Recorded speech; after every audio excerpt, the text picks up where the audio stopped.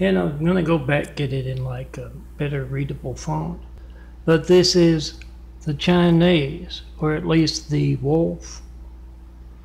Homeland Security down the street in Eagle Rock, yes. And the wolf, I just made that Jerry Wolf and John Blanchard fun stuff. The gayest uh, folks at uh, my Catholic school. But yeah, I'm taking photos. And I go into it like this, and look, it's not up there. They tell me, these pathetic Chinese and Fedsters, how much they, uh, my stuff's getting around, especially on sale, that on Excel, that takes up so much. This is pathetic. Maybe I should go into the big screen in bedroom.